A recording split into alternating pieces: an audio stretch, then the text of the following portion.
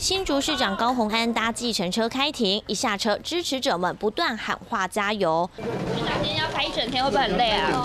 还有什么话要说吗？高虹安不发一语，快步走进法庭。十号全日开庭，高虹安整天都得泡在法院里，还得再度杠上绰号“小兔”的前行政主任黄慧文。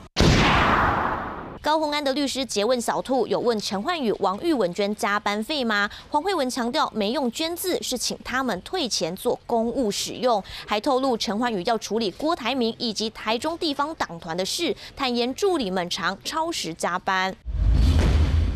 小兔证实，零用金除了用在办公室支出，有时候也会被高鸿安用在个人消费，像是洗头、餐费、买红参送给中研院长，甚至购买他的著作、面试郭台铭，拿去送礼用途。市长加油！